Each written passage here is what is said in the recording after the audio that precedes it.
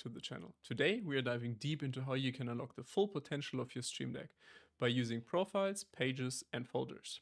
These features help you to make the most out of your workflows and help you to use the keys on your device as efficiently as possible.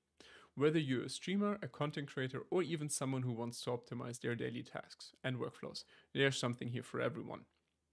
Alright, so let's jump right into it. If you're new to Stream Deck, you might think that you're limited to just the number of physical buttons on your device that you purchased. But that's where profiles, pages, and folders come in. These allow you to create a nearly endless number of actions and setups. And in this video, I will show you what profiles, pages, and folders are for and how you can use them. Also, in the end, I will share a little secret trick that probably not many people know about that makes navigating folders and nested folders a lot easier. Before we jump into the details of each element, we should have a look on the hierarchy between the three. Profiles are the highest level, pages live within profiles, and folders are on pages. With this, we can now move on to the first thing, and that is profiles. Profiles are perfect for those of you who use Stream Deck across multiple applications. Profiles allow you to set up a unique button configuration for each applica application you want to use it in. You can choose to change to that profile as soon as that specific application comes into focus, or you can switch to that profile manually. For example, I have different profiles set up for OBS, VS Code, 3D printing, and even general web browsing. And the magic is that Stream Deck can automatically switch to those profiles when I open the application. So when I open OBS, my Stream Deck automatically switches to my streaming setup.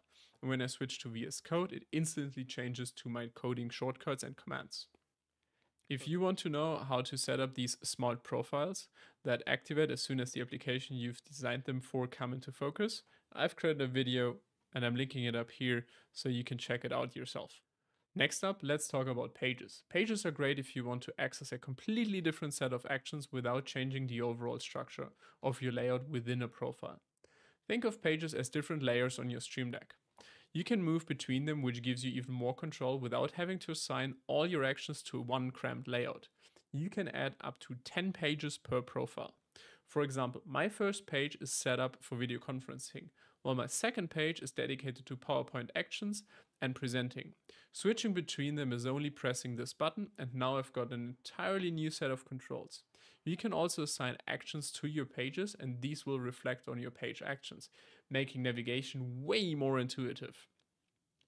Finally, let's have a look at folders. Folders allow you to group similar actions together on a single key, which means that a single button can lead up to multiple other actions. It's perfect if you have several related functions, but don't want to clutter up your main layout. To create a folder, all you have to do is right click on a new key. It doesn't really matter if this is already occupied or not and select create folder if the key was empty or move to folder if the key was occupied. Now a new folder is automatically created and you can name it and add actions inside of it. Inside a folder we do not have pages anymore or profiles, but we can create further folders without limits and creating a uh, fancy nested structure. For example, I've created a folder here for my Windows tools and inside I've added useful Windows shortcuts, like opening the emoji keyboard, the command line or Windows settings, all accessible with just two button presses. I did the same with my most needed browser bookmarks. To make things even more efficient, you can enable folder auto exit. To leave the folder once you press the key you needed, and then you will leave the folder you're currently in. To configure the folder auto exit, enter the folder and click on the folder exit button. By default, in the upper left corner. Now enable the auto exit option and select the time it should take to leave the folder. This setting is now applied to all action in this folder. If you want to exclude or adjust individual actions, there's now an extended option in each action that lets you configure it for this action individually, or you can just leave the standard default thing that you set for the entire folder. So when you combine folders, pages, and profiles, you've got a setup that allows you to manage hundreds or even thousands of actions without feeling overwhelmed, and you will always get the actions that you require for the applications that you're currently running. For instance, let's say I'm presenting in a Teams video call. I've got a profile for Teams where I have all the actions I need to interact with my audience. In addition, I set up a PowerPoint profile so that I can remote control my presentation. And if I need to launch or start something on the side outside the video call in parallel, I can example, for example, launch my Notes app via a Stream Deck. And now for the promised secret and hack. Once you, start setting up your pages and folders, you will get to the point where you start stacking folders in folders. And the auto exit or the return key will only bring you always back up one single level. Sometimes you want to get from a very low or nested folder back to your pretty much highest page, back to the page.